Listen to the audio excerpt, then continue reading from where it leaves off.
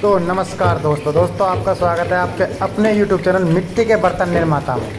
देखो दोस्तों, आज हम आपको पूरी फैक्ट्री दिखाएँ, किस प्रकार से गिलास बनते हैं। देखो, एक बार इस भैया को देखो, इसकी स्पीड को देखो, ये किस प्रकार से गिलास बनाता है। और सामने भी देखो, कितनी बड़ी फैक्ट्री है और किस प्रकार से मोल्ड का सेटलमेंट किया हुआ है और किस प्रकार से मशीनों का सेटलमेंट किया हुआ है।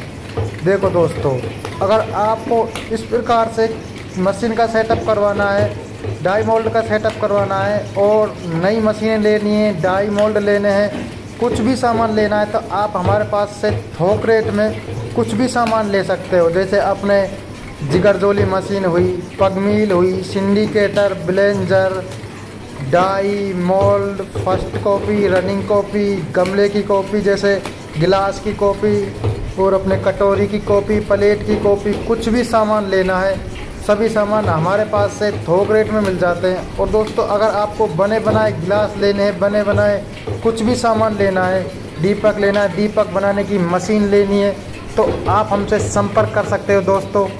देखो दोस्तों, ये भैया कितनी स्पीड से बना रहा है गिलास। आपको कुछ भी सामान लेना है तो आप हमसे संपर्क कर सकते हो दोस्तों। दोस्तों, मेरे नंबर में डिस्क्रिप्शन बॉक्स में या फिर दोस्तों, आपको कमेंट बॉक्स में पिन कर दूँगा, जो आप वहाँ से मेरे को सीधे कॉल कर सकते हो।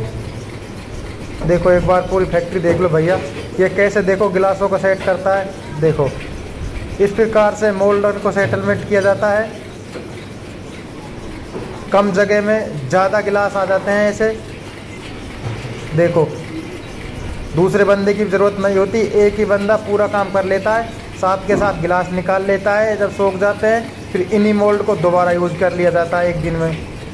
देखो। नहीं, कोई ज़्यादा ज़रूरत होती है गिलासों को इधर इधर उधर रखने की?